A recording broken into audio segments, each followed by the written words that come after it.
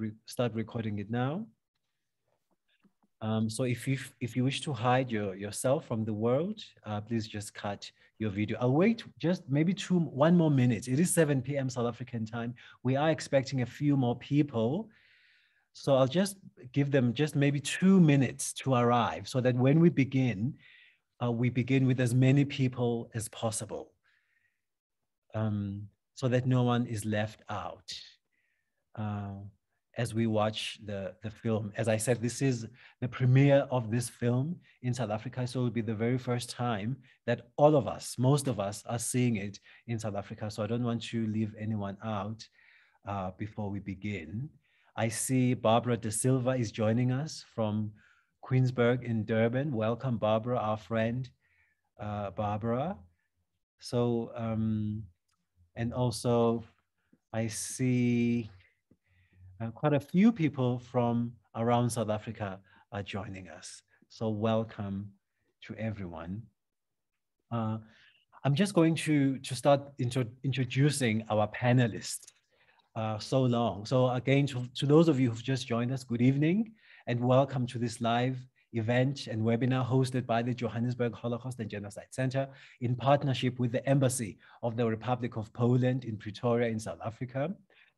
Um, this event will, is in partnership with the embassy, as I said, of the Republic of Poland in South Africa, the South Africa Poland History Project, and the Sol Plaatje University. And my name is Mdun Duli, and I'm part of the education team at the Johannesburg Holocaust and Genocide Center, and welcome you to this special event, an exclusive screening of the film Santa Rosa, Odyssey in the Rhythm of Mariachi.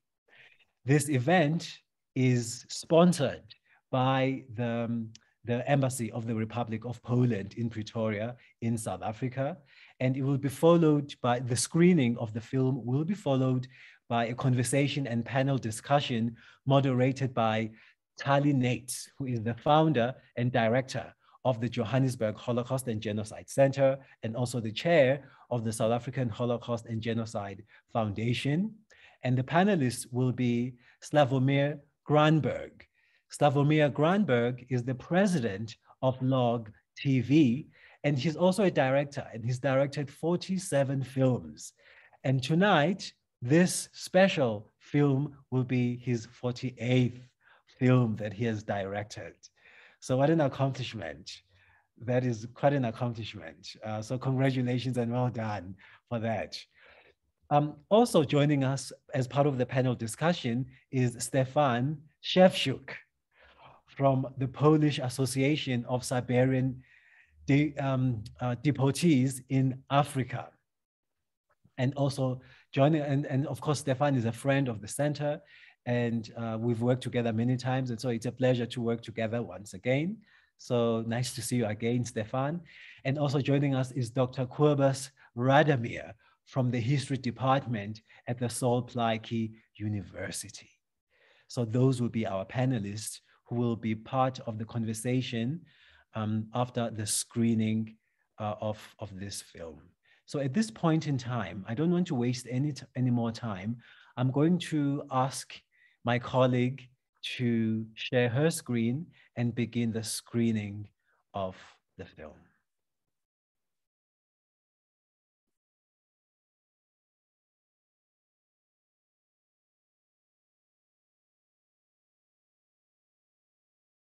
Yes, as soon yes.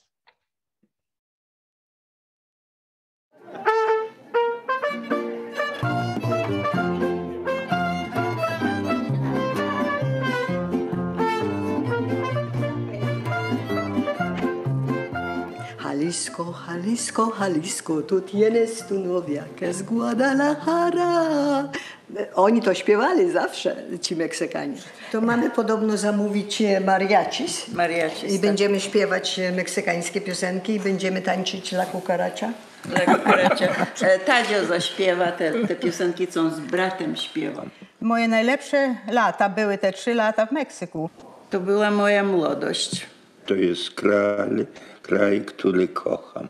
Wszystko, co się nauczyłam w życiu, właściwie w obecnym życiu, co mi się przydało, to się nauczyłam w kolonii Santa Rosa. w obozie uchodźców.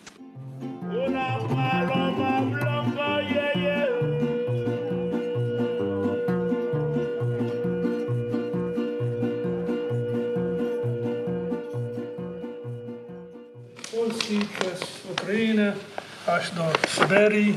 Tutaj, to, tutaj jest e, Archangels, gdzieś tam, ja. Potem Swerdlovsk, potem na Kazachstan. E, W Taszkent skradłem e, koszyk owoców od jednego ko- kozaka. Potem tutaj do Krasnowock, potem Kas, e, Kaspińskie Morze i do Pachlewi i do potem Teheran, potem Achwas. Tu na, W Achwasie myśmy wzięli okręt angielski do Karachi. W Karachi byliśmy pewnie ze 3-4 miesiące i podczas tego czasu nam powiedzieli, że pojedziemy do Meksyku, Afryki czy gdzie indziej. Nie, nie, nie wiadomo było dokąd. Nie wiedziałam, gdzie jadę, czy tu lepiej, czy tam będzie lepiej, ale, ale pojechałam. Jakieś takie... Wiesz co, ja nie wiem, czy tu... Chociaż stroik, to może by się i utrzymał. Przepraszam, czy te świeczki po 18 zł są też białe, czy tylko ma Pani w tych dwóch kolorach? Słuchaj, a może takie małe? Zobacz, te małe białe takie, widzisz? Te takie trzy. Tak? Trzy. Dobra. To co? Zbieramy się.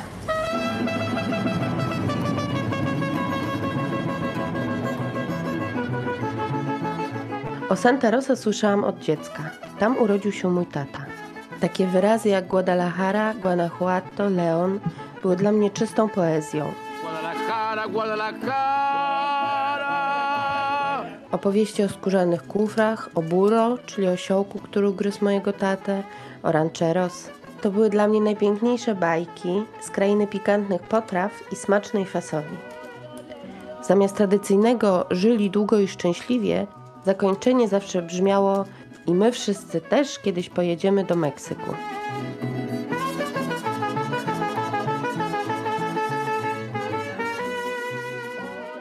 Ale on mówi, że nie, nie róbcie tego więcej. Myśmy wcale żadnej szkoły nie mieli. Potem na Syberii zaczęliśmy chodzić do szkoły, ale tylko było po rosyjsku.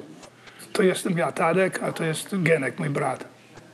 I w filmie, że to wszyscy, żadnego ubrania nawet nie ma dobrego. Ja teraz miałem jakieś, tylko 9 lat w ten czas. To i tak jak myśmy raz myśmy tak siedzieli w tej, tej całej grupie tych dzieci, tam pod drzewem i tam jakiś pan nam coś tam czytał. I się ten, w ten czas mi się tak e, sobie przypomniałem, że już swoich rodziców wtedy nie będę widział. To życie, które my na, na Sybirze obchodziliśmy, walka o, o byt, ażeby jakoś e, przeżyć, e, znaleźć kawa, ka, czy jagody, czy coś w, e, w tym, e, czy drzewo e, rąbać. Jako, jako 11-12-letnie dziecko musiałam rąbać tam drzewo. Głód to jest jedna z, naj, naj, naj, największych chorób, jakie można mieć. To jest na, naprawdę z głodu to człowiek by zrobił wszystko.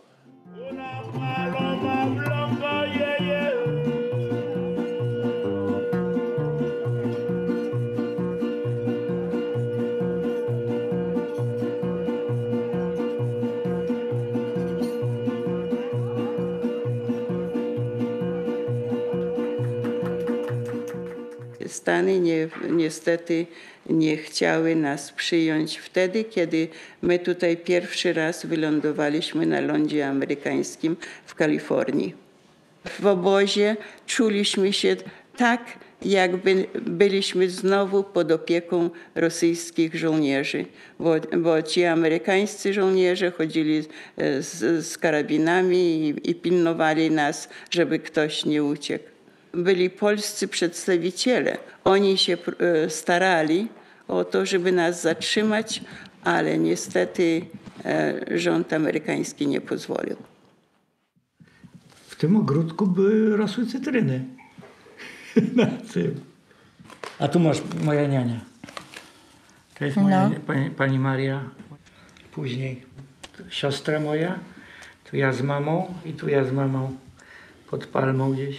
Mój ojciec i ten, i mama. No. To jest chyba z twojego chrztu. Nie, To nie jest twojego nie jestem pewien. No, albo jakaś tego rodzaju Tak, tak, tak. uroczystość. Mogła być, bo zobacz poduszkę. Patrzę na to, jak ci ludzie, jak w ogóle wszyscy jesteście ubrani.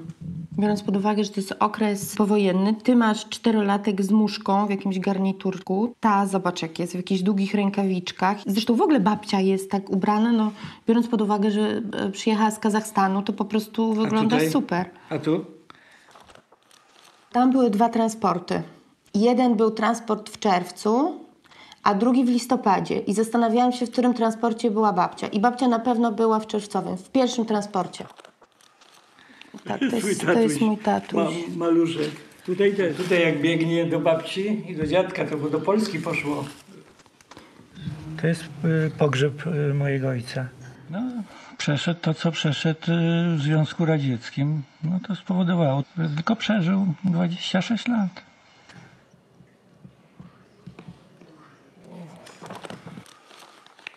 U nas było ładnie, fajnie w Meksyku.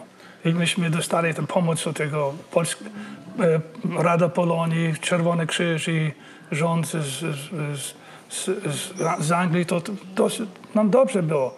Nareszcie po prostu czuliśmy się tak, jakbyśmy byli e, z powrotem w Polsce. I obchodziliśmy e, święta, na przykład jak Boże Narodzenie, to robiliśmy szopki e, i śpiewaliśmy kolendy. Robiliśmy po Wielkanocy śmigus dyngus. Pamiętam zawsze, jak ten śmigus dyngus był. Jak żeście chłopcy oblewali nas wodą, to ja pamiętam. Pamiętasz Ościsławski? On, on zaczął te, te z królikami i te, pamiętasz go? No niekoniecznie. Myśmy w Starym Śrycili mieli drewniane łóżka, takie podwójne. I jeden raz jeden przychodzi tam do, te- do tej sypialni, patrzy się, nie ma łóżka. On oddał za króliki, tak? Potem poszedł tam do, na, tam, na, tam do tego wychodka i patrzy się, a jego, jego łóżko tak zrobił składkę z tego, ma królików w tym. Chodziliśmy na tej polanie. Zawsze w niedzielę był spacer na tej polanie. Pamiętasz czy nie? Wszyscy chodzili na tej polanie spacerować. A, a był płot i za płotem była wi- wioska meksykańska. I tam byli e, rancheros, Meksykanie, mariachis. Jeden się nazywał Manuel Vasquez i powiedział, że on będzie dla mnie śpiewać w nocy piosenki.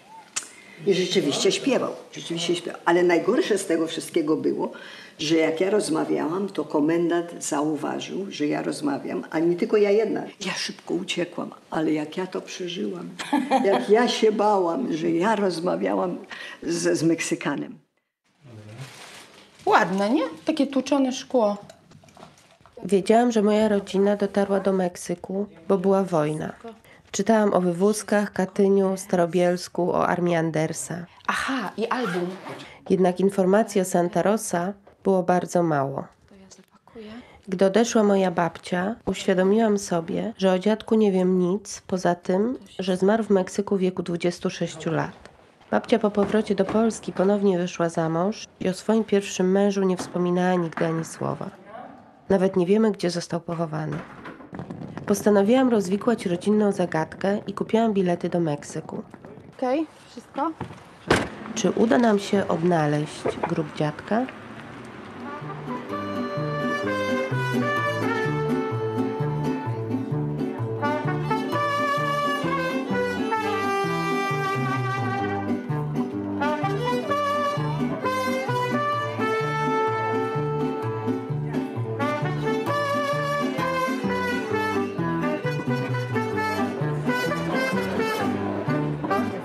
Z lotniska zostaliśmy odebrani przez panią Annę Żarnecką i jej wnuka Daniela Carlosa.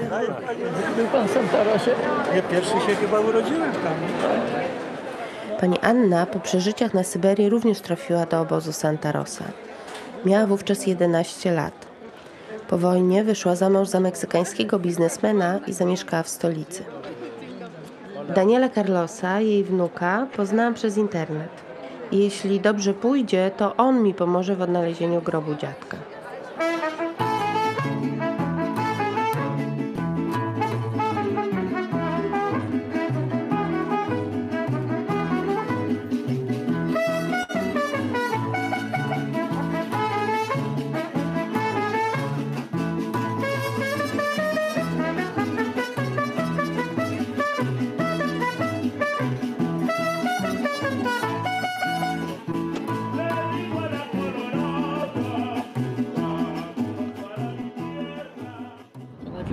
Przyjechaliśmy do Leonu, bo jeszcze nie wykańczali tą Santa Rosę, nie reperowali. I zaraz e, spotkały nas pani Meksykanki. I one obejmowały nas i całowały i pokazywały niebo. Naturalnie myśmy płakali, bo da, grała muzyka na, na tym, na, na stacji. I grali dla, przyjmowali nas z muzyką i do tego, te, te, jak oni nazywają, abraso. Oni jak, zawsze przyjmują kogoś, to obejmują. Więc nas, nas to po tylu męczarni, po tylu wszędzie nas przyjmowano nie, nie bardzo przyjaźnie. A tutaj ta, tyle okazali nam serca. Więc e, ja z- Meksyk zdobył serce nasze też. Mam wspomnienia ładne Santa Rosa. Mi się zdaje, że to wszystko wpłynęło na to, żebym ja została w Meksyku.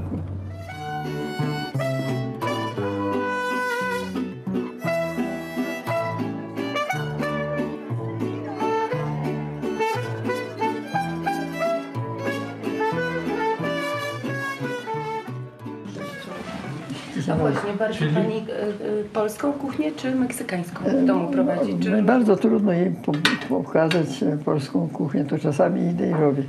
Jak ja przyjechałam do Meksyku, to pierwsze co nauczyłam się to jeść kukurydzę. Tata zawsze opowiada, że pamięta smak fasoli z Meksyku. Tak? Tutaj będzie mógł znowu spróbować. Mhm. So, what's the idea for finding the grandfather's grave? We don't know.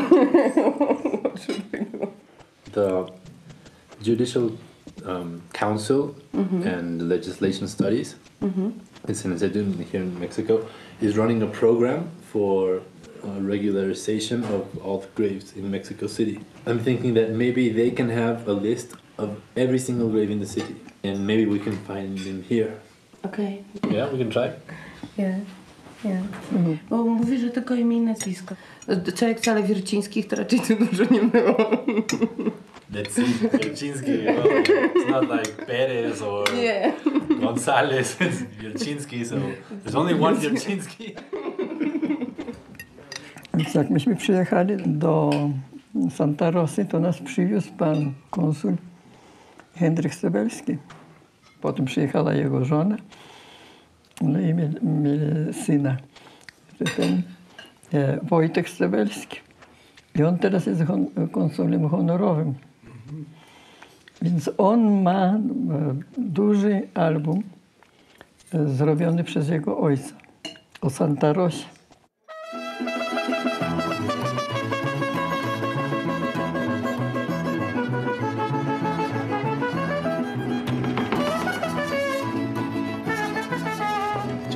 Pan konsul Wojciech Stebelski, nasz konsul honorowy w Meksyku, którego ojciec, którego ojciec również jest przecież bohaterem historii pana rodziców. No jest na zdjęciu. Zapraszam państwa, bardzo proszę.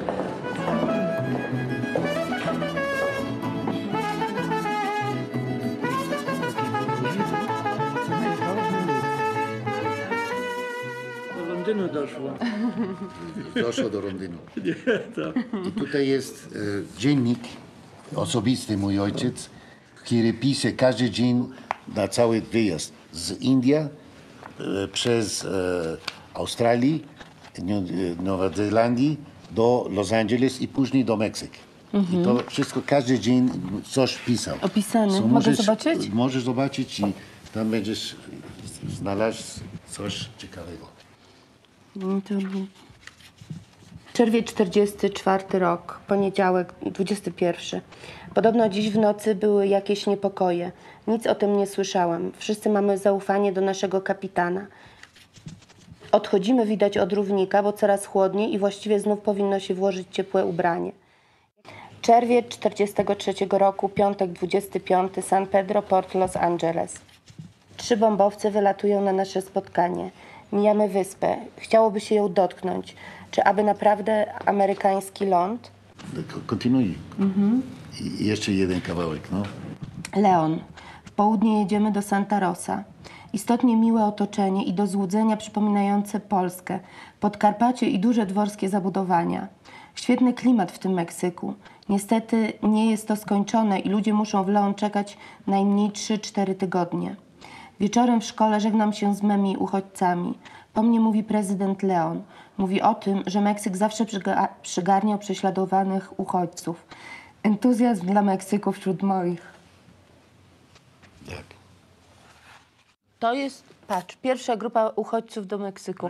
No i patrz. Popatrz, tutaj musi, tu, tu ojciec Patrz, musi tutaj szukaj. być.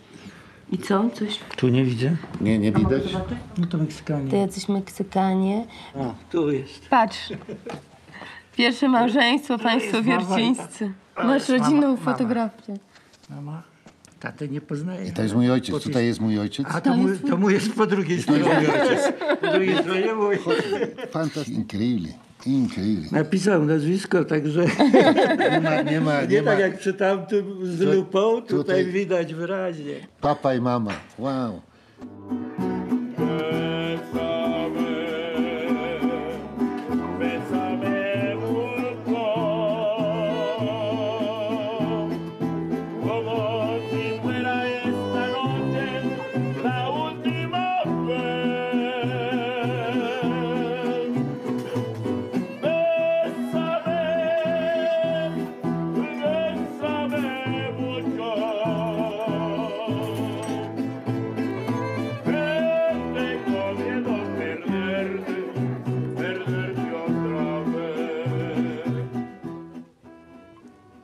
No chodź zobacz.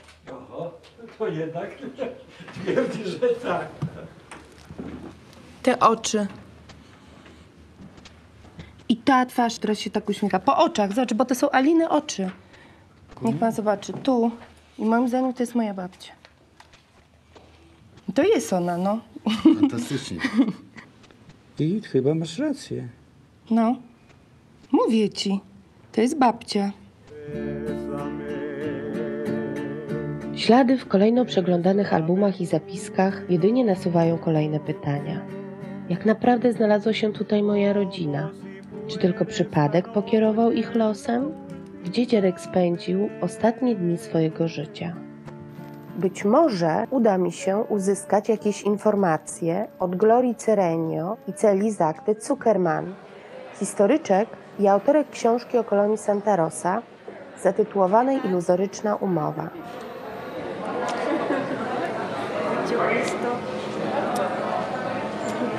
I have really, uh, really, really problem find uh, something about Santa Rosa in Poland.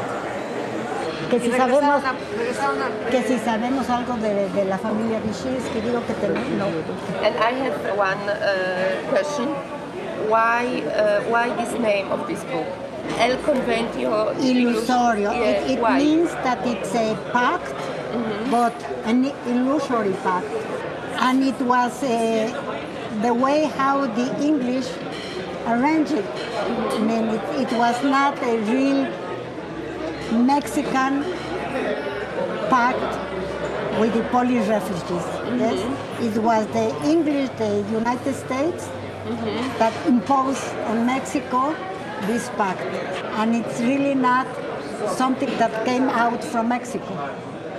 Yes, but I think that uh, uh, people, that, that Mexican people here, uh, and this, uh, I, I hear this from all, all people who knows uh, something about Santa Rosa. All these people said that the Mexic, Mexican, Mexicanos We're very I nice to them. Yeah, ah, very, that, very that for sure. No, that doesn't have to do with what is a pact with the government.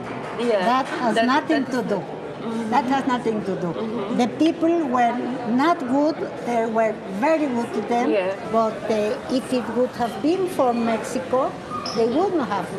They wouldn't be here. Też wspólne. A zobacz, czy to jest to samo. To samo. Tak? To samo, tylko z, jednej, z jednego miejsca. tak. To jest e, ja i moja siostra. Jak przyjechaliśmy do Santa Rosy. Super. To już jak ja przyjechałam tutaj do miasta Meksyku. Po opuszczeniu kolonii Santa Rosa, pani Anna poświęciła się pracy dla Czerwonego Krzyża oraz swojej pasji malowaniu obrazów.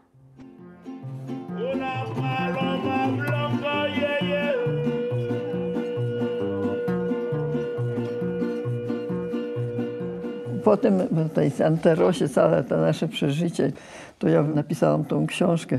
Nazywa się Polonia Viento i Tinieblas. Ale jest przetłumaczona już na polskie. Spodziewam się, że może kiedyś wyjdzie w Polsce.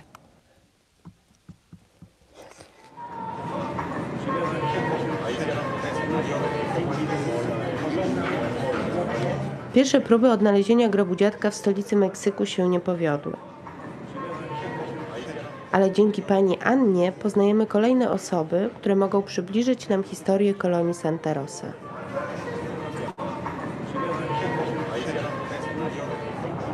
Z Chicago przyleciała do nas Teresa Sokołowska. Wiem, że bardzo chętnie wspomina swoje dzieciństwo w Santa Rosa. Dzień dobry. Dobry. Prosimy, witamy. Dzień dobry. Sokołowska jestem. Bardzo mi miło. Joanna Matias, a to Bardzo tata. mi miło. Matias i Wierciński. Matias i Bardzo mi miło.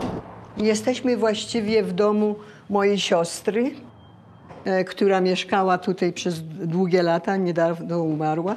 I była mężatką z, z Meksykaninem. I też pewnie był w Santarosie. I była w Santa Rosie. A jak wyglądało y, życie w Santa Rosa? To znaczy taki normalny, normalny dzień. Czy wy wstawaliście o jakiejś porze jednej? Wszystko było tak zorganizowane, że to było takie małe miasteczko. I, I wyglądało w ten sposób, że tam jest prezydent, że tam są, jest policja, że e, są nauczycielowie, profesorowie, a ktoś zarządza e, pieniędzmi, czy, czy cała administracja była. I, I było prawo, i musieliśmy przestrzegać to prawo. Szkoła była normalna, zaczynało się z rana szkoły i się kończyła szkoła mm, przypuszczalnie o jakiejś drugiej, trzeciej godzinie. Harcerstwo było dobrze zorganizowane. Później otworzyli świetlicę, gdzie w świetlicy można było grać w ping-ponga i w inne gry. Nawet zbudowali dla nas e, basen. Tam ja się nauczyłam pływać na poszewce. Nadmuchałam poszewkę. Tak? A Mama moja została w Leonie, a ja już w międzyczasie byłam w Stanach. My też jechali już do Stanów. Wyście jechali też do Stanów? Tylko ojciec umarł w Meksyku. Mhm. Jak ojciec umarł, to mama nas y, ostatnim transportem do Polski zabrała. Także w 48 w sierpniu przyjechaliśmy do Polski. A na co tata umarł? Tata już y, chorował chyba od, od, z, Z z Rosji. Rosji, z Syberii. Asia rozpoczęła y, poszukiwania grobu dziadka swojego. Kilka lat temu zmarła moja babcia, z którą byłam bardzo, bardzo mocno związana i właściwie u nas było też tak, że zawsze mówiliśmy o tym, że kiedyś pojedziemy do, y, do Meksyku i stwierdziliśmy, że, że jedziemy, żeby, żeby zobaczyć, żeby mm, odnaleźć, tak.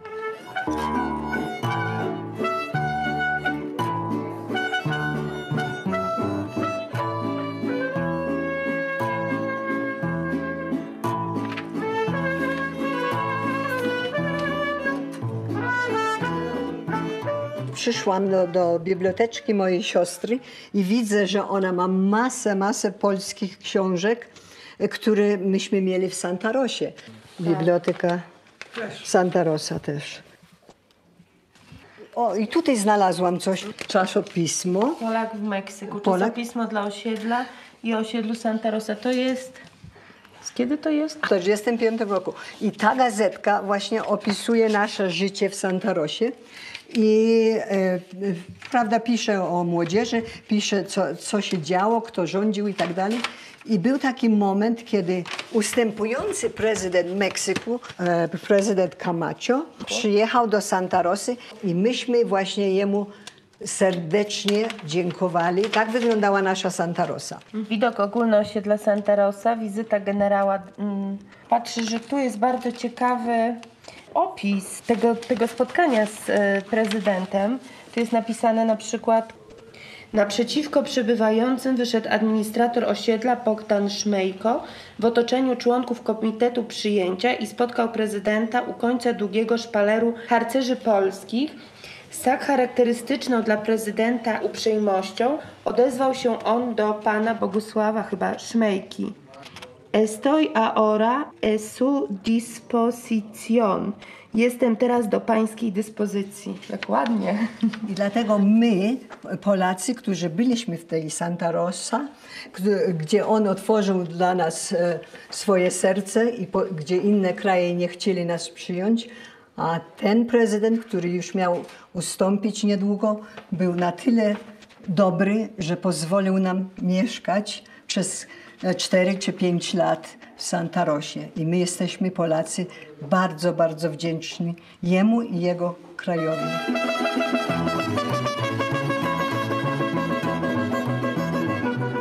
Pani Teresa wyrusza z nami w dalszą podróż śladami tajemnic Santa Rosa. Jedziemy do oddalonego o 300 km od Mexico City miasta Leon, dokąd 1 lipca 1943 roku przyjechał pociąg z pierwszą grupą polskich uchodźców. Jedziemy tak, jak pani jechała kilkadziesiąt lat temu w, to, w tę stronę. Ja już zapomniałam, ile to lat było. 68. 68 lat, jak myśmy jechali do Santa Rosy. Ja wtedy miałam 12 lat, więc dużo się zmieniło. Ja się zmieniłam i krajobraz się zmienił, no i podróż się zmieniła. Z- Jadąc pociągiem e, z Kalifornii do, do Teksasu, bo musieliśmy jechać e, e, pociągiem amerykańskim. Na amerykańskim, e, jak twierdzę, był bardzo piękny pociąg i, i wygodny. Załadowali nas i postawili żołnierzy z karabinami obok, którzy pilnowali nas i nie wolno było otworzyć okna i nikomu nie wolno było podejść do nas i z nami porozmawiać. Także jak dojechaliśmy do, do miejscowości w Teksasie, przeładowali nas na meksykańskie pociągi. Na meksykańskich pociągach nie było policjantów ani wojska i mogliśmy otwierać okna. I ludzie mogli do nas podejść i rozmawiać z nami, mimo to, że myśmy nie rozumieli hiszpańskiego. Więc radość była ta, że czuliśmy się wolni nareszcie. Ludzie zaczęli śpiewać piosenki i byliśmy szczęśliwi. Lepsza atmosfera. I Dużo lepsza atmosfera, także dużo lepiej czuliśmy się e, i wreszcie zrozumieliśmy, że jesteśmy wolni. A pamięta pani, jakie piosenki śpiewaliście? Asia, ja ci powiem. Yy, 3 maj? Tak. Witaj jutrzenko. Płonie ognisko i szumią knieje. Drużynowy jest wśród nas, opowiada starodawne dzieje. Bohaterski wskrzesza czas.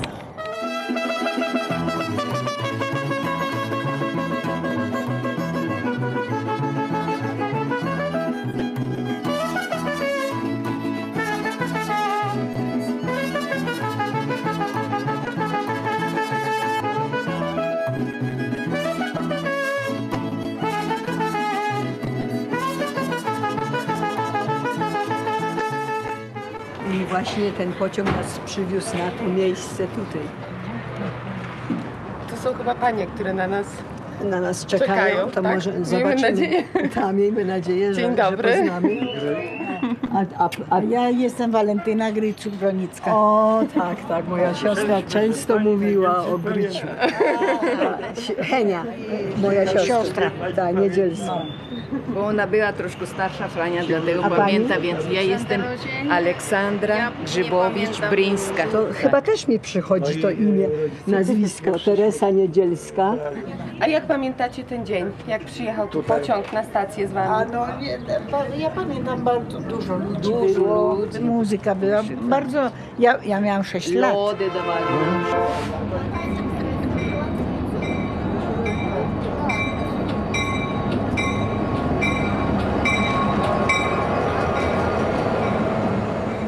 Jak my przyjechali na stację, to wszystkie ludzie zeszli, a ja ostatnia powiedziałam, ja wyjdę ostatnia z, z Na wagonu. stacji? Na kolejowej stacji. I później ten, co był mój mąż, on mnie widział i mi powiedział, jaką sukienkę miała, jaki kolor. Już od razu przy Od razu. I, i już e, codziennie tam był, codziennie, codziennie i już przynosił jakieś e, nawet czasem ukradł siostry rzeczy i mnie przynosił. A później już widziałam, że to było od niego. No i miałam dziewięć dzieci. Dziewięcioro dzieci. A ile lat miałaś, jak wyszłaś za mąż? 20. A to od razu. To Tak. tak szybki ślub był. Nie? Miałam e, 16-17 lat. Skończyłam szkołę handlową. No i potem poznałam męża. Pierwszy syn miałam, jak miałam ja 20 lat. A ósmy syn miałam, jak miałam 30 lat. To I rok jak- po roku prawie. I jak e, zostałam wdowa, to miałam 30, 34 lat. Jak pani to wychowała? No, musiałam bardzo ciężko pracować. Tak, bardzo, bardzo ciężko. No, ale jakoś... I nigdy nie Bóg- wyszła za mąż drugi Nie, raz? nie, nie. Nie. Mój mąż miał, jak się mówi, że sprzedaje wszystko to. Aha, jubiler. Aha. I ja nigdy nie pracowałam, zawsze w domu byłam. Po obiedzie, jak nie miałam co robić, to z nim byłam w sklepie i prawie zawsze miałam mm, służącą, i że pomagała mnie, bo miałam tak samo jak ona każdy rok, każdy rok, każdy rok. Ile miała? To ile Dziesię- dzieci? Dziesięcioro dzieci. Dziesięcioro dzieci? Tak. To jak tak właśnie się was wszystkich dwadzieścia bierze, siedem, to tu dwadzieścia cała cztery. kolonia. Ale powiększyli Meksyk niesamowicie. Tak, Miałam cichą nadzieję, że we wspomnieniach trzech weteranek kolonii Santa Rosa, które osiedliły się na stałe w Leon, odnajdę wreszcie klucz do zagadki o moim dziadku. Pamiętacie tego pana? Nie pamiętacie, ha. Nic nie pamiętacie. A, to, a ja tutaj widzę dużo moich znajomych, tylko i też nie pamiętam ich nazwiska. Zobacz tutaj. O, to są. Pokaż mi. O, tu jest moja mama. Tu jest moja mama, a tu ja siedzę. Pierwszy raz w życiu miałam lalkę. To to właśnie tak wyglądała ta nasza tego. Oh my God. Myśmy przyjechali tutaj w ogóle po to, żeby spróbować znaleźć e, grób dziadka. Tego właśnie dziadka, który tutaj jest e, na, na zdjęciu Józefa Wiercińskiego. E, No i tak szczerze mówiąc, nie bardzo wiemy, jak mamy się za to e, zabrać, bo szukaliśmy w internecie, ale to jest jednak e, bardzo, bardzo trudne. A nie wiecie, czy to było gdzieś zapisywane, na przykład, nie wiem, w jakimś rejestrze ta śmierć, albo w, w kościele, czy w jakimś urzędzie? Musi być y, rejestrowane, Zapisane. to zapisane. W kościele to musi być. Tutaj w Leonie można z- m, zajść tam do e, archi, r- Archiwum. archiwu e, i zapytać się, czy nie ma tam zapisane. te- Archiwum miejskie, tak? Miejsce, Do, w archiwum tak. miejskim. Mają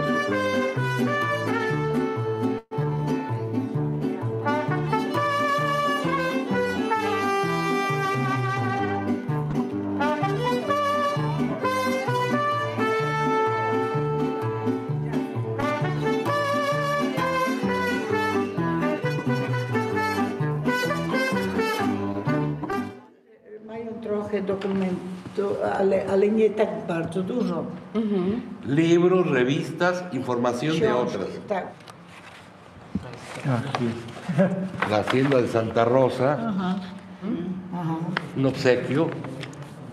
Y, Cmentarze, tak? Cmentarze w Leon. Tak. Lista de extranjeros registrados. Vamos a ver, joven, búscame por favor los extranjeros de Polonia, a ver si se encuentran aquí. Aha, czyli to jest lista wszystkich osób, które przyjechały tutaj. Klodawer. Comerciante, Hidalgo, polaca. En el hogar era ama de casa. Te, te osoby to przyjechały e, przed nami. Aha. E, W 42 roku. A my przyjechaliśmy w czter- ko- 43. Tak. Polacos remitidos a la cárcel por dormir fuera de la colonia en Santa Rosa. Lechovich. Katarzyna. Katarzyna. Katarzyna. Para que se interne en la cárcel de su sexo por el término de 30 días. Jednak wśród sterc zakurzonych dokumentów sprzed lat ani wzmianki o dziadku Wiercińskim.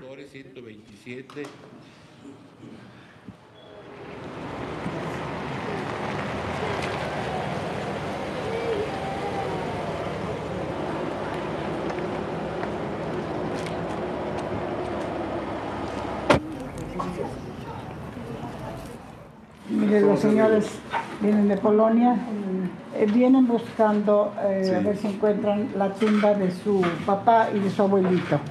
Sí.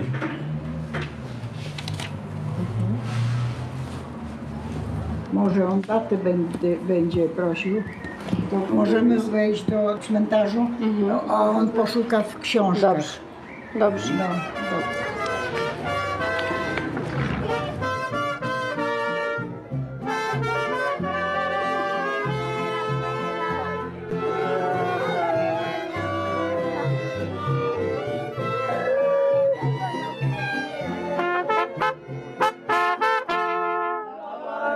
Musiał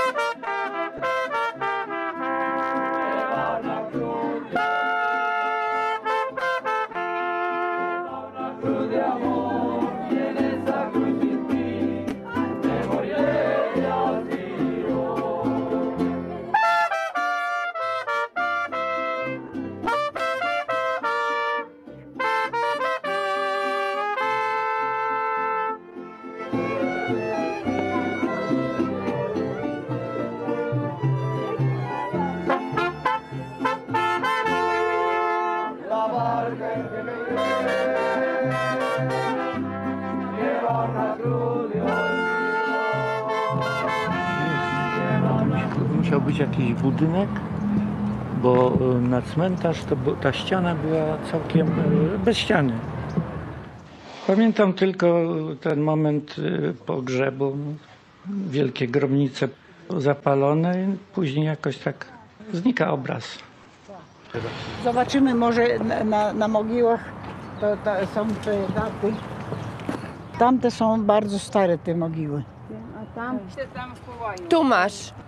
E, 2 sierpnia 48 rok. Kolei zobacz, 60. No a tu jest 63, nie? Tu jest w ogóle... No i to najgorzej, że daty, daty nie ma. Bo jakby było data, to, to, to łatwiej to byłoby. Zauważyliśmy, Jezus. że imię Jezus jest. Tak, tutaj i jest to bardzo, bardzo przyjęte. dużo. Tak. A w Polsce nie. Nie. Tak. Ja mówię, że nawet jakiś pijak leży na ulicy i on się nazywa Jezus. Tak. Kawałek tego cmentarzu odcięli i tam z, budynki zbudowali. To był większy cmentarz. A to się robi ze starymi grobami, które nie zostały wykupione No ponownie. właśnie, tak. O, albo oni wyciągają... Ale to wcale nie tak długo, bo to jest przecież 2001 rok. No tak, ale to tylko są 5 lat. No trudno, to w niebie się spotkacie. Józef Wierciński. Wierciński no aparece. Buscamos en el libro de 1948, de enero al- a, diciembre de 1948, para ver si se había efectuado la inhumación de, de Joseph, de esta persona, y no encontramos nada. A, Czekaj, Okej, dobra.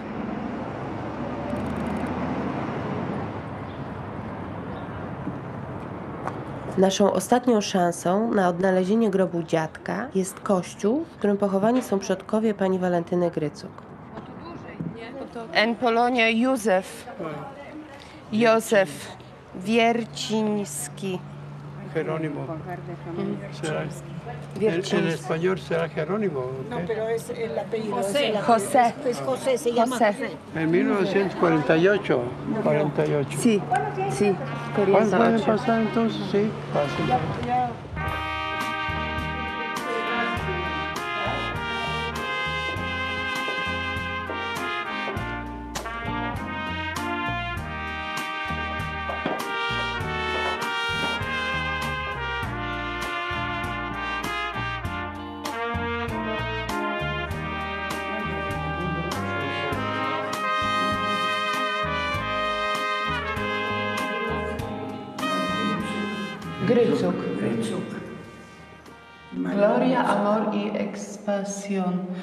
To jest chwała, Miłość. miłość, a ekspasjon?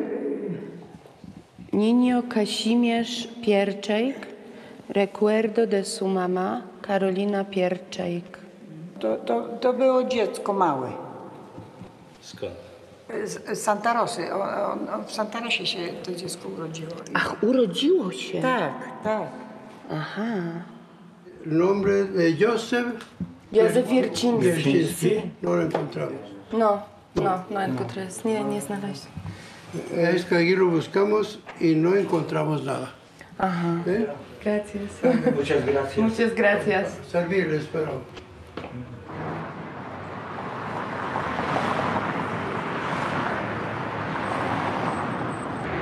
Buenas tardes. Buenas tardes. Buenas tardes. Quisiera em, una placa para mi eh, abuelo Sí, por mañana. Sí. ¿Sí? Tenemos esta es de 40 por 40, es en granito artificial. Granito. Es granito artificial. Mhm. Tenemos estas, tenemos aquella, aquella. Zdecydowałam, że musi jednak pozostać ślad poszukiwań grobu dziadka, który pomoże nam zamknąć ten rozdział rodzinnej historii. ¿Cuánto cuesta esto? Mil pesos. Mil pesos. eh, eh, mil pesos para todo. Para marmor para escribir. Escrito, sí, ya, ya grabado. Eh, nación en 1922, Sí. 1948. Sí. No ¿Cómo no? Mañana se la tengo. Ok, gracias. Muchas, Para muchas gracias.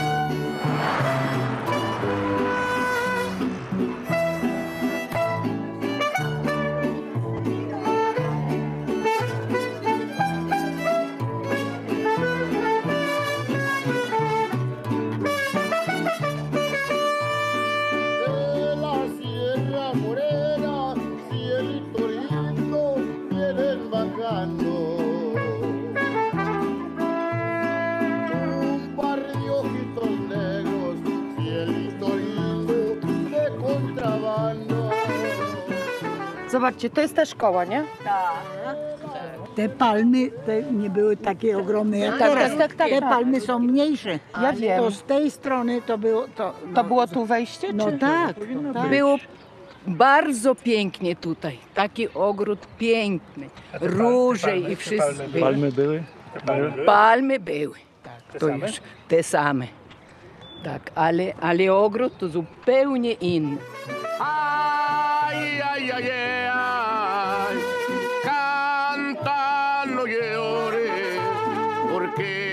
cantando se alegran, cielito lindo, los corazones. Niektórzy pracowali na ogrodzie, Mhm, tak, no, niektórzy na w ogrodzie. szpitalu, No, niektórzy w kuchni, w kuchni jadalni, tak. niektórzy w szkole Tak. pracowali. No, prawie wszyscy duże ludzie pracowali, Mhm. a maleńkie chodzili do szkoły.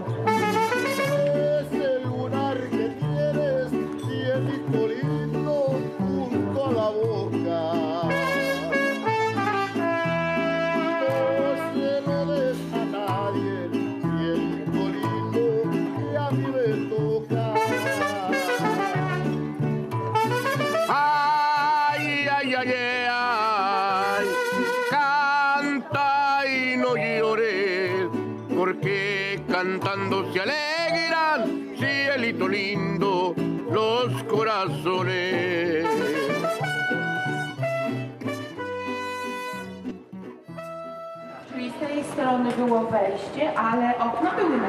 Nie było, nie było. Tutaj nie było, ani tam też nie było. I tutaj ty mieszkałaś, Franiu? Tutaj było moje mieszkanie.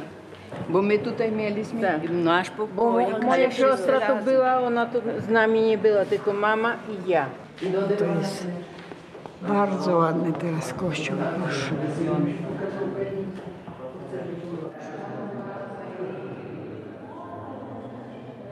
Czy twoja mama wyszła z- e, za mąż tutaj? Czy... Tutaj, tutaj, A, tu, tu, tu. tutaj. Tutaj, to ona tutaj. My mieli księdza tutaj i dlatego wszystko się robiło w tym w kościele.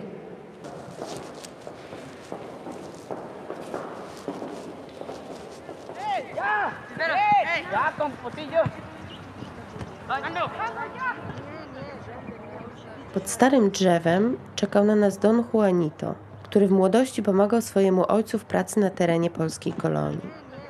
Czy możliwe, by pamiętał polskie dzieci z tamtego okresu? Sí. Ajá, vamos a la sombrita. Aquí Santa Rosa. Santa Rosa. Plan de Ayala. Ah.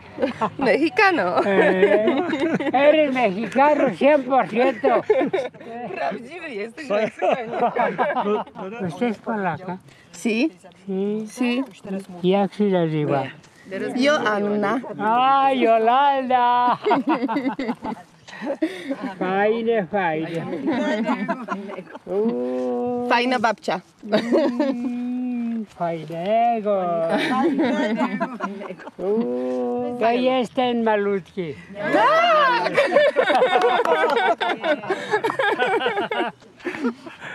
Qué bueno. Mucho gusto, mucho gusto. Una bárbara paloma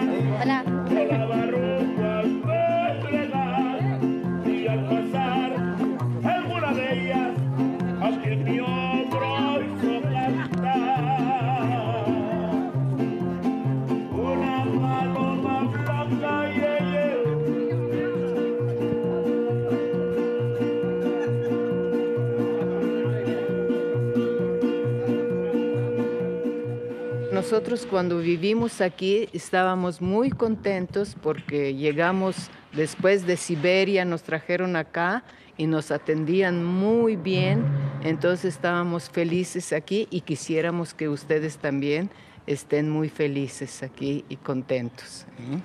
¿eh? E, Chcieliśmy zostawić tutaj na polu pod e, drzewem tablicę pamiątkową poświęconą mojemu dziadkowi. Él se llamaba Józef Wierczyński. Wier... Wierciński.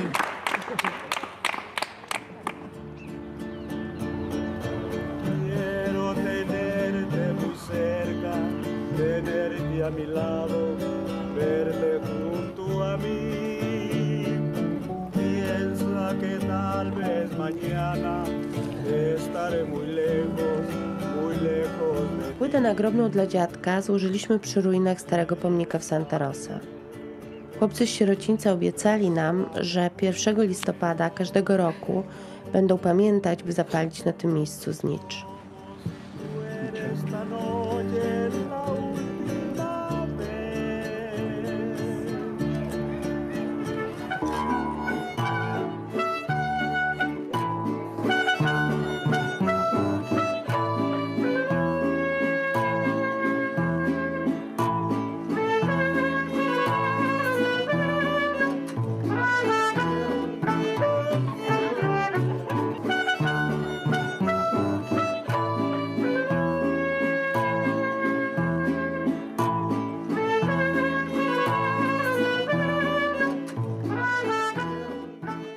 Tutaj kończy się moja podróż. Podążając szlakiem wspomnień napotkanych podczas niej ludzi, odkrywając rodzinną historię, poszukiwałam własnej tożsamości. Być może dla polityków zaproszenie Polaków do Meksyku było iluzoryczną umową, ale dla mojej rodziny był to los wygrany na loterii życia. I mimo, że nie odszukałam grobu dziadka, znalazłam coś innego. Coś, co on na pewno też tu właśnie odnalazł. Najserdeczniejszą gościnność. Prawdziwe meksykańskie abrazo.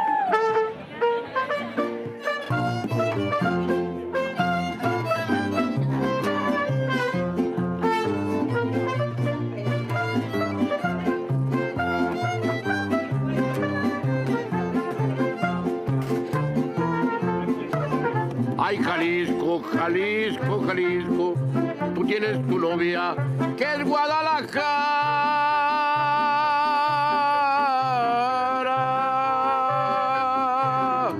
Muchacha bonita, la perla más rara de todo Jalisco es mi Guadalajara. Es mi orgullo el traje de charro, traer la pistola, en el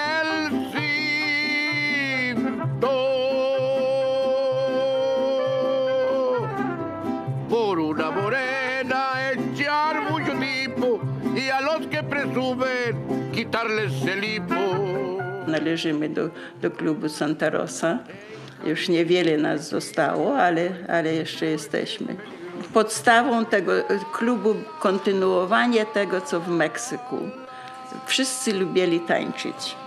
Także nasze spotkanie jest zawsze z orkiestrą mariachis. No i wszyscy tańczą. Ci, co mogą.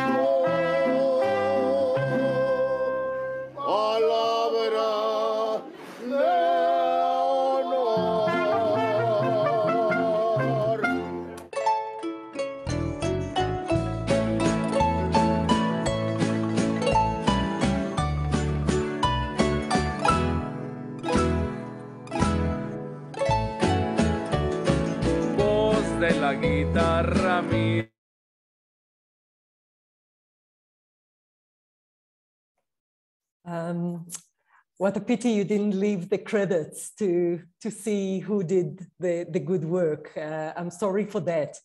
But uh, we will send a link to the film to everyone that registered, and you will be able to watch it again and, and uh, share it with your families. Uh, Slawomir Grunberg, uh, what a wonderful, wonderful film you created.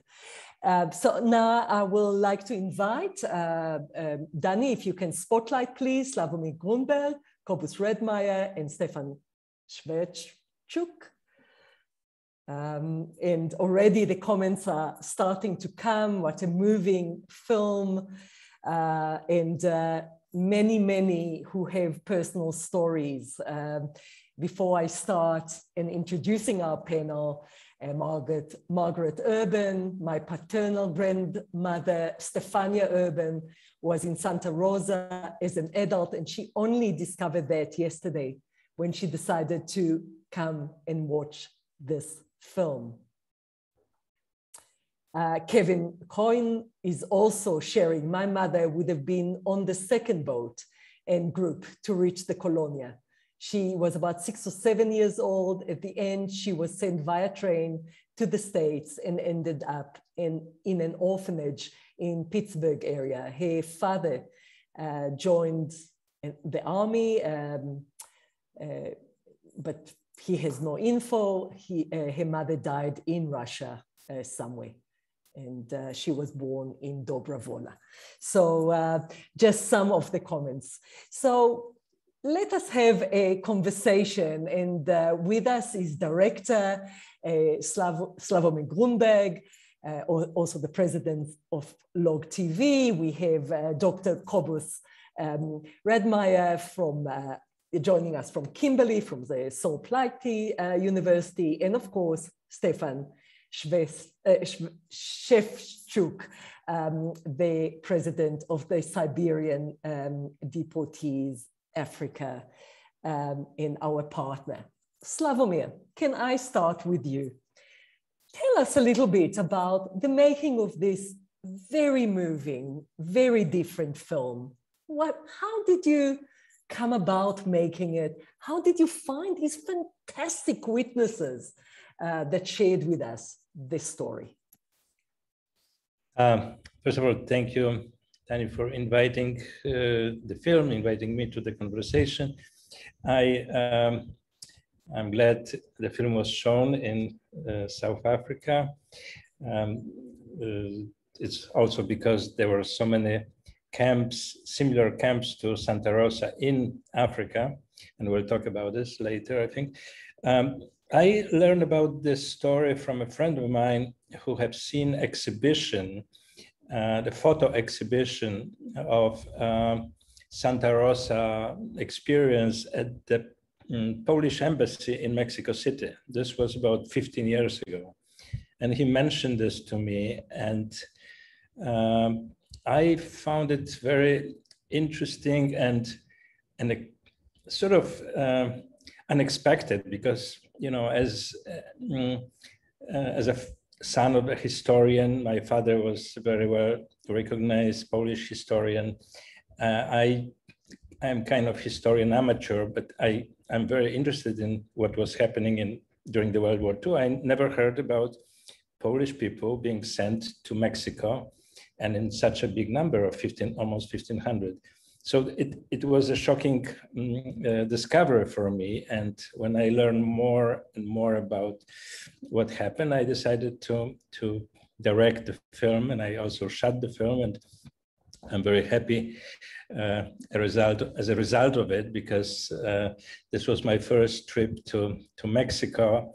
Uh, this was about over 11 years ago. And uh, uh, the story continues because I decided to live in Mexico. And for some reason, uh, my experience with the film uh, made made my and my wife's decision to move to Mexico for good. Yeah, and you you you brought, uh, I think, the warmth of the Mexican people through the film with all the politics and who decided and who did what. It was really on the wayside because I think the warmth and hospitality, abrazo, as, as they Abrazo, say, exactly. yeah, of, of, of the Mexican people came, came across. How did you find these wonderful, wonderful witnesses uh, and, and survive, survivors or detainees in Santa Rosa uh, from Chicago, from Leon, from, from Mexico, and, uh, and Poland? Um, a, wonderful group of people, storytellers, really, and warm and uh, and uh, I would say natural historians. Yeah, this was uh, this was collaboration between uh, mm, producer of the film Piotr Piwowarczyk, who initiated this project, and he found um, a lot of um, people in Mexico. Uh, I found Joanna, who decided to go back to, to Mexico to to look for her grandfather's grave uh, with her father. Uh, so it it was between two of us, and then you know, as it happened in documentary, you you cannot really write a script. The script is written as as we go, um, and that's what happened with this project as well. Uh, and it's really a, a very warm heart, hearted, very moving film. I'll come back to you, Slawomir, in a minute, but I would like to bring uh, Stefan to the conversation, if you can unmute yourself, because Stefan, of course, we in South Africa have our own uh, you know, Santa Rosa, as I, I want to call it. Uh, maybe share with, uh, with our uh, uh audience today uh, something about, about our own story of, uh, of refugees from, from Siberia that came to South Africa, and maybe even Africa, if you don't mind.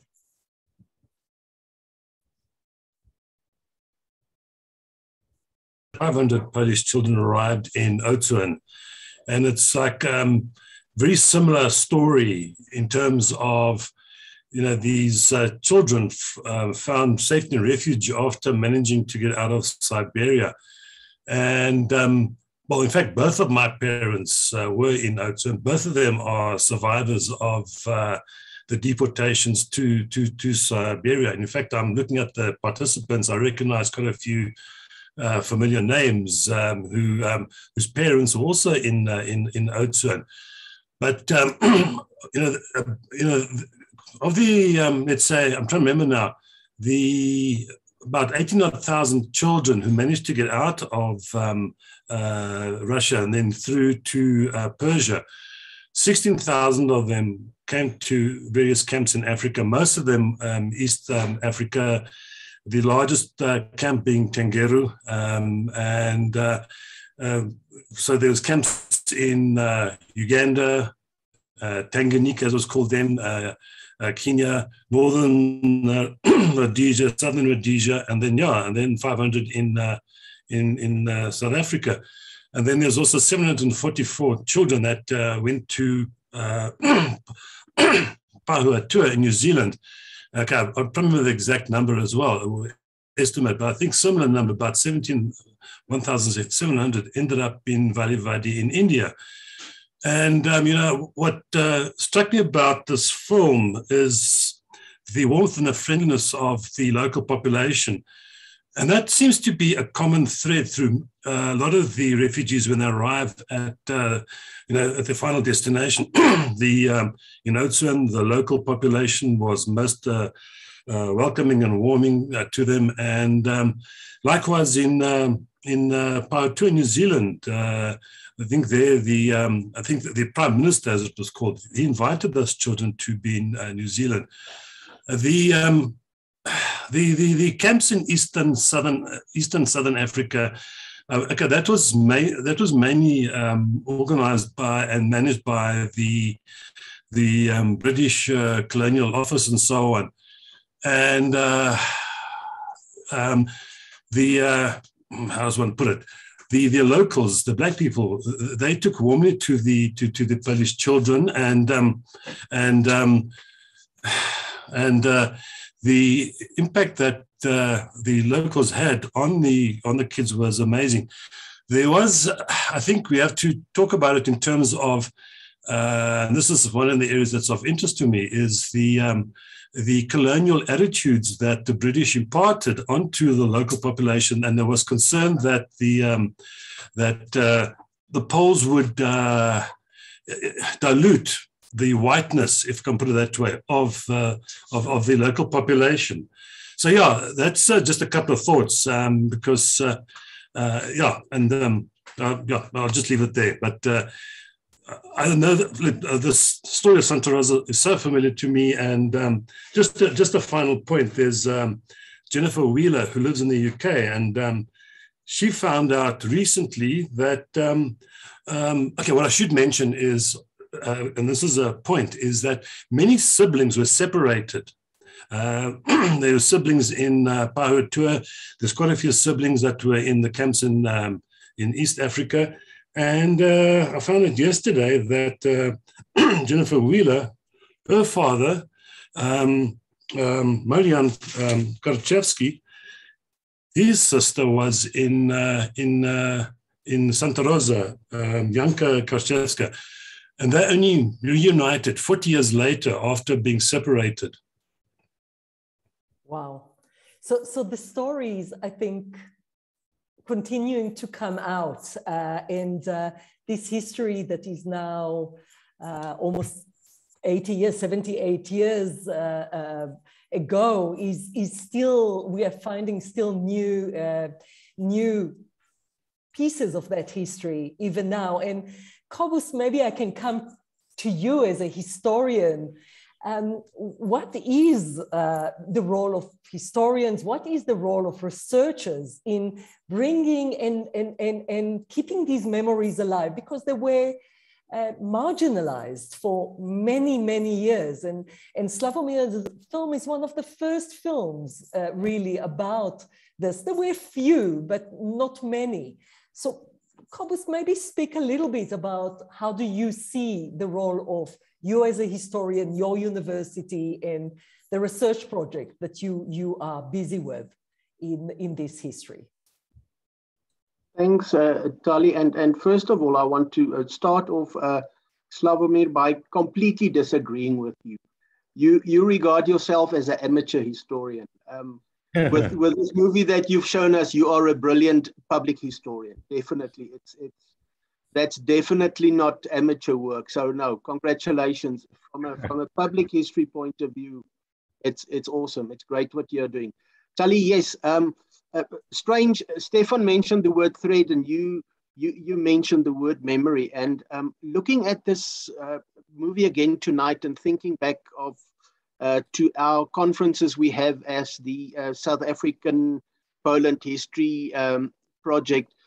It's there's this fascinating golden thread of, of memory that runs through this. And uh, looking at the names, there's there's many people in here that I've told the story uh, to before about how uh, Stefan and I met, and it's got a lot to do with Poland, and it comes from the first time I was in Poland, and it's it's just it's a fascinating story, and and every time you find a new link to it, uh, because um, Santa Rosa I've, I've read up a bit on, but I, I must say I didn't know that much. But it's it's every time it there's just a new um, side street that comes out with with with a new fascinating story that comes in and um, talking about the, the the influence of historians or the research um, the first time i went to to poland and i came back and I, I said to my students i said to them please don't fight with me about this but um, you, our history in south africa what what we see as history is is only a portion, a, a tenth, or not even a tenth of the history of Poland. And that is what fascinates me of the history of, of, of Poland. And there's so many things that still has to be done. Um, Stefan and I have, have now worked on this project. Stefan and I keep getting the years wrong. Is it seven or eight? I think it's eight years now. 2013, since then. Yeah, so I've got it right this time. Thanks. Um, so when, when I started at Sol Plaatje University, basically our university is eight years old this year. And um, I registered uh, this project of ours six years ago. It was one of the first, uh, the first five uh, research projects that was registered at the university for, for all kinds of, of, of projects. And of the first 10 that was registered, it's the only one that still survives, that's still running. And our um, vice rector said to me the other day, what, what's all of a sudden happening with this project? For the last four or five years, you kept on sending me one report. Now, all of a sudden, you have three things happening this year. I have three different reports.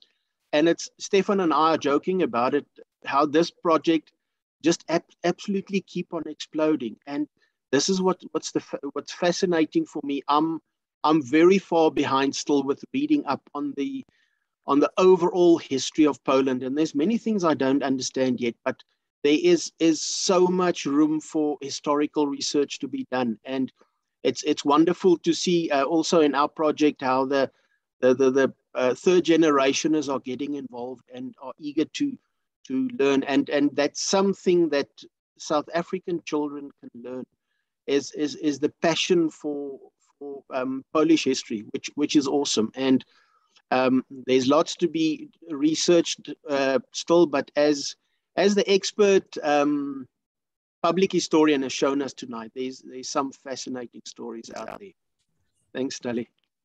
Thank you, and I, I do agree, Slawomir. You you are a, a public histor- historian par excellence, and uh, your 47 films.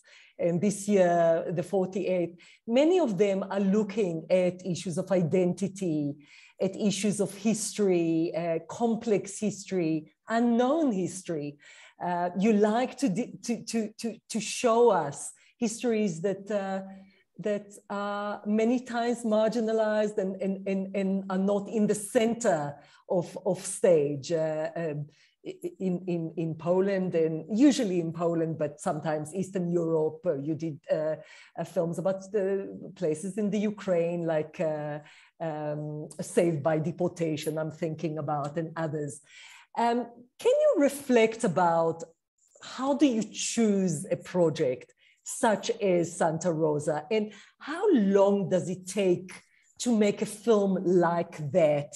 And uh, and years later, when you see the, the, the, the, result of the film, how, how do you feel and, and uh, what more would you have liked to do? Um, so, so lots of questions, but I'm very curious yeah. about all Thank that. You.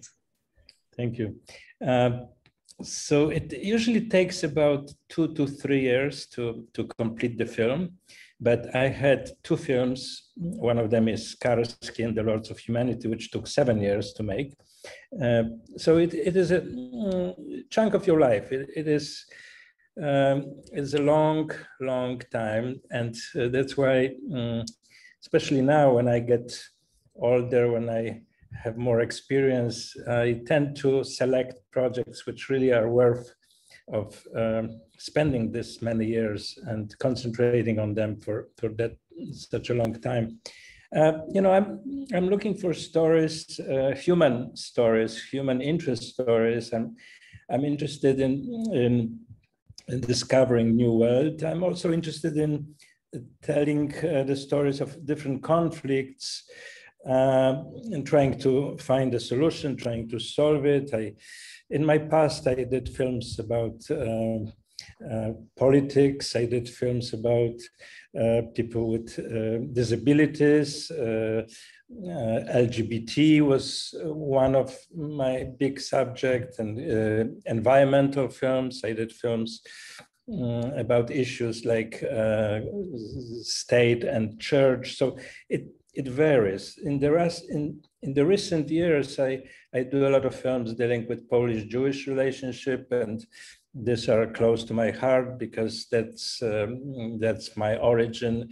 I am Polish and Jewish, and uh, I lived in Poland for 30 years. So it it, it, those subjects have to mm, uh, kind of touch my heart when when I hear about something what either uh, is emotionally close to me or something I I really um, very curious of discovering for myself and for the audience that this is when I decide to make a film about this particular subject. And when you see a film um, nine years later, you finish Santa Rosa in 2011 12. Um, what's your, your sense? Uh, how do you feel about it's like a child, I assume. You, you, you look at that child yes. that you created. and, I, and I love to watch my films. I, I really love to, to see it again and again. I, and today I was watching it and and I pick up this this word, the Spanish word abrazo, which means hugging, and um, what they describe in uh, in the moment when they arrived, this you know almost uh, um, 1,500 refugees from Poland, what they describe is just this warmth of uh, Mexican people who who are completely different from Polish people and who, mm, I mean, they, it just cultural difference, everything is different. But at the same time, even without knowing a language, they felt that these people are very warm and, and very uh, Uh, hospit- hospital- hospitable. And this, this is my experience, my and my wife experience when we decided to move to Mexico two years ago. And this was that's exactly what what we feel until now. So if, I mean, this is the main reason why we're here. It's not because of good weather, not, not because of, of exotic place, but it's because of people. That's a wonderful way to, to describe that, uh, that warmth. Um, Stefan, Cobus mentioned it, and the film shows as well the second generation, the third generation. You know, Slawomir, in the end, uh, uh, you see, you know, the Santa Rosa Club in Chicago, and you see the grandchild you know that he's coming with his grandmother to to um, to to get some of that culture and uh, some of those stories. So, Stefan, maybe speak a little bit about second, third generation uh, in South Africa and Africa, and the interest in this story, uh, and where do you think that that interest can lead, uh, including your story, your PhD at the moment. Yeah. Well. Um, where do I start? All right. Um, I'm hoping to cover an aspect in my PhD um, that the caregivers um, in Oudtshoorn, they laid the foundations to generate, let's say, uh, a sense of family uh, because they had nothing. They had no family. And um, so I like to believe, and I want to demonstrate that in my PhD, that uh, the caregivers um, laid the foundations around which the children could then um, see themselves as family. And um, I like to think that it's been pretty successful. I mean, I grew up with these children from Oudtshoorn, and um, and um, I've got to get remember this year. And, and, then in 2003, November 2003, a group of us second generation said, "Listen, know, yeah, we know each other socially for years. Let's start formalizing things." And um, that's where sort of like it grew. Uh, we had um, regular get-togethers, and um, I was often asked the question, "Where's where's all this going?" And then, lo and behold, in 2013, Cobus uh, knocked on my door, as it were, And then also you may remember Marta Novakovska, similar uh, time period, she, um, not, she, she made contact with me. And I think that laid the foundation to say, right, let's now take this thing forward. And where are we going to go with this lot? And I think it, uh, we were able to build on what uh, our parents had done and what uh, and what the caregivers had done. And part of the um, uh, activities is to encourage uh, second generation is to learn more about their Polish um, history and heritage. And then also, uh, we're actively involved in trying to get the third generation as um, to be actively participant uh, to, to, participate. So there's a whole bunch of uh, let's say activities that we're doing under the the the, um, the South Africa Poland History Project. Okay, there's the academic side where we look at the, the annual conferences, and then there's our social side of things. Um, so it's um, I, I think yeah. So it's basically I like to think we've built we're building on a very solid foundation in terms of trying to let's say build a sense of family togetherness and so on, and trying to maintain uh, and develop a sense of a Polish identity, heritage. Um, in a land that's far, far away from Poland. I mean, like it sounds like in Mexico they're doing it, in New Zealand they're doing it. Um, so, um, and, I, and I'm going to reiterate what Kuba said. Every time, sort of like we get together, and every time we take stock at the end of each year, it's like the whole thing's exploded. Um, so there's um, there's still a lot of work to be done, you know, because um, we know these stories, but a lot of a lot of uh, people around the world don't know the stories. Um, it was kept quiet by the Allies, um, and that's the treasure of it all. I mean, if you look at the, uh, it was mentioned in the Santa Rosa film where the kids traveled by train through America through blackened windows. Um, basically, Roosevelt didn't want the kids there. He didn't want to upset uh, Stalin. Um, and uh, I, you know, once again, it just um, you know, Roosevelt. You know, anyway, um, I, am so reminded of uh, uh, Slawomir's other film, Jan Karski and the Lords of Humanity, and how and the role that um, Roosevelt played in uh, just hushing everything up, so that. Um, you know, the, the, the Western um, uh, uh, uh, people didn't know what was going on in, in, to the Poles uh, complex history, that history of the Second World War, and so much of it is uh, less known. And, and, and certainly um, the, the deportation by, by Stalin uh, to, to the East, and uh, then the way that uh, many of them uh, traveled to, to what is today Iran. India and then other parts is, is something that is only after the after the fall of the Soviet Union basically starting to be to be known. Uh, I'm as a, as a again a historian and with this project in mind, and watching the film and how testimonies and and um, and not only first generation testimonies, uh, which I, I realize not many are still alive and with us from, from those refugees, but maybe should we not capture those stories? Should we not film those stories?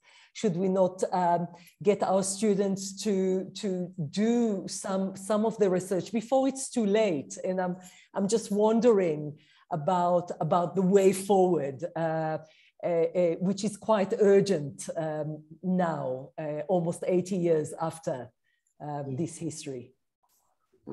Uh, Tali, coming back to the whole concept of, of public history, and in, in, in, in public history, uh, people started realizing how we did things in the past, basically using a tape recorder or digital voice recorder and recording things. It was good for then. But um, you see so so many times and and um, Stefan in, in, in sharing the bad news of, of, of one one of you know of, of the original children of Oudtshoorn passing away from time to time, you start realizing it's it's another opportunity that's lost. And the big thing is, and and what that's so great about uh, the work that uh, Slawomir is doing now as well, people are starting to realize with all the technology that we have, we, we can actually make it a living history. We, we not only uh, voice recording it, but we can use, I mean, even cell phones we can use to, to take videos of that. And um, again, tonight was a great example of, of how things can can come together and and make a great movie out of it. And it's uh, at the end of the day, history is going to judge us all. And I think what what all of us as a group here tonight are doing in our collective corners or in our in our individual corners and also as a collective. I mean, it's it's building up something that um, with uh, regard to our project, I mean, eight years ago, I would never have imagined where we would have been today. And looking back at it now, I was the other day printing the different posters from each of the years of the conferences. And somebody walked in into uh, my office and they said, "Well, um, you know, this this is something unique. It's something I haven't seen before, and it's it's yet again the, the passion that comes to the fore." Uh, Talian, also at your center, we've been very fortunate in in finding you as a partner for for our conferences, definitely. And it's also every time I work, walk through there and I look at the the work that you are doing there, it's um, if if we don't do this now, it's there's going to be nothing left at, uh, for for our children and their children one day to look back at. So it's it's crucial to come back to your question. It's something we have to do, and with all the technology that we have, it's it's making it so much easier for us to to tell a fascinating story. Absolutely. And here, Geronimo is just sharing in the chat. Uh, my uncle Miguel was born in Santa Rosa. Uh, his mother, Stefania Kozinska, arrived to Santa Rosa in 1943 on the English ship HT. Uh, Rona, along with her mother, and uh, he's sharing the story and uh, it's a bit long so i will just save it and uh, and share with all of you. But what i will be really interested is uh, in, in, in those of you with us with those connections geronimo kevin uh, margaret uh, and, and others um, i would love to ask you to write those stories and that we can start gathering those stories uh, from Santa Rosa, from Oudtshoorn, maybe New Zealand, Uganda, from wherever. And maybe that can be an oral history, you know, project that we we start uh, bringing together those those uh, those family stories. I think they're really really important, and they will get lost if we will not gather them in our archives. Um, Slawomir, what, what is the project that you are busy with now as we, we are running out of time? So uh, I, mm-hmm. will, I will invite everyone to, to continue to write in the chat, um, you know, your family stories and other stories. Uh, it's really interesting. But Slawomir, I'm, I'm curious, I know still life in Łódź. uh, in Łódź is, is, is finished. Uh, maybe tell us a little bit about that film and then what is your next film coming out? Uh, Still Life in Łódź, uh, which is a story of 75 years of one painting hanging in one apartment in city of Łódź, Poland, and watching uh, history unfolding. And there were there was a Jewish family living there, and there was a German family living in the same apartment, and there was a Polish family uh, of Jewish descent living there, and there was a Polish family. Uh, we're talking about the whole history um, and one painting, which is watching what is happening uh, during these years and uh, using animation also in this film. I told this story, which uh, the film is being played in, in movie theaters in US through virtual screenings uh, and had screening just last week in, in Łódź, Poland, uh, the anniversary of um, of the ghetto in, in which the uh, then there is a new, new, new film which is going to be released in October of this year. Uh, in, in, Polish, it's called Ja Jocha ze Śląska, means mm, my, Kaya is, the, is her name and Jocha is a girl from the Silesia. And that's, that's her story. She lives in Washington, in Bethesda in United States. She's 97 years old and uh, uh, she went through, you know, uh, as you can imagine, fascinating life, and that's what this film is about. And I have a couple more films in different stages of of production, and one of them is Hidden Heritage, about discovering Jewish life, Jewish roots in in Krakow, Poland. Uh, so a lot of work, and I'm working from uh, Mexico. I'm doing all this editing, having uh, editors in Poland, um, and uh, putting together the stories, not being physically where they are being made, which is, uh, you know, COVID experience as we all go through our own experiences with this uh, pandemic. And I'm going through my film experience uh, by working remotely from here. Uh, so it's it's a it's it's a busy busy life, and uh, you know those projects seems to be very fascinating. My my wife Basia wants to go to Poland for the premiere of the film. I'm I'm hesitant. Um, but we'll see what happens in in uh, you know you cannot plan anymore because as as we know uh, the pandemic is giving us all kind of surprises. So. Yeah, uh, we all need to continue to be healthy and uh, and well, and uh, we look forward very much, Slawomir, to partner with you again, uh, as we did many times in the past. And I think this relationship will just continue and grow. And uh, your films are extraordinary. Your storytelling is extraordinary, and uh, we, we we are very grateful for you to for, for sharing this film with us. And as I said, uh, we will send a, a link for, for all of you to possibly watch the film again and dance a little bit with the uh, mariachi because uh, that is contagious. And, and, you, and, you, and, you, know that my, my heart is very open to, to South Africa. I've been there many, many times. Uh, a couple of times thanks to, to your invitation, but also uh, privately. Uh, so I love your country and I, I will use any opportunity. And my wife, Basia, told me that on her 50th birthday, she has to go back to, to South Africa. So we'll, we'll plan for this. For we'll make a plan. uh, but uh, I just wanted to thank you again. I'll give uh, the, the, the, floor to Mdu to do the, the closing and thank yous. But thank you, Stefan and Cobus, for uh, and Slawomir for the, the very candid uh, conversation we had. Do please uh, close the, the evening for us. Thank you. Thank you, Tali. Thank you, Slawomir. Thank you, Cobus, And thank you, Stefan, for that fascinating discussion. As a young South African, this made me ponder about what I need to learn more about my history as, as a South African person. There's so much that we don't know and people are dying and there needs to be that push for us to find that information and record it. Uh, so thank you very much. And at the center we are in the process actually of doing that and collecting that information about south african history uh, for our archives. So thank you very much for that. Um, so to everyone for joining us thank you. Please join us again next thursday for another webinar uh, another fascinating discussion so for now, please keep safe. And I hope that wherever you are, you are careful, but trying to enjoy the, the spring and the, the, the new weather that we're enjoying currently in South Africa. So thank you very much. Um, and see you next Thursday. Thank you. Thank you.